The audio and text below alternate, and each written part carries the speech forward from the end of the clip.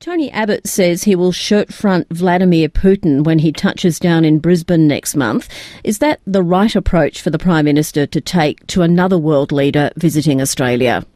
Um, the PM, firstly, the PM is not in uh, in the schoolyard any longer. He's PM, and um, there is no call for that. Um, I think the rhetoric of the Prime Minister is extremely immature and um, there is absolutely no need for that. And I, I would suggest that the um, PM start acting like a PM and extend the olive branch out. Now, uh, one of the points of contention in the relationship or in the bilateral relationship is the downing of MH17. The Prime Minister is unequivocal. He says the 38 Australians on board were murdered by Russian backed rebels. Hasn't he got a right to press President Putin about this? This is what I believe that if Putin had had a choice, Putin certainly would have made sure that would never have happened. That's the first thing. Secondly, the president should be treated like any other Australian and should be um, innocent until proven guilty. And thirdly, we need to go back to the first step. What the bloody hell was an airliner doing going over a war zone in the first place? That is the question we need to go back to. So you think it's important to keep the lines of communication open between Australia and Russia?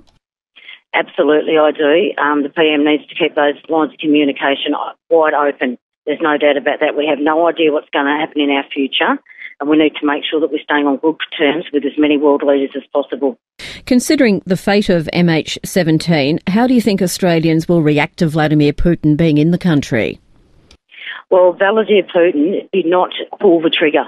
That's the first thing I'll say, and I think they should welcome Vladimir Putin into the country until, like I said, until he's, um, you know, either A, if he has any played any part in that, until evidence of that comes out in the open. You, but I think you'll find with a man in Putin, Putin's got enough smarts. If Putin had had his own way, that would never have ever happened. He's not an idiot. And you like Vladimir Putin, don't you? You've been impressed by him.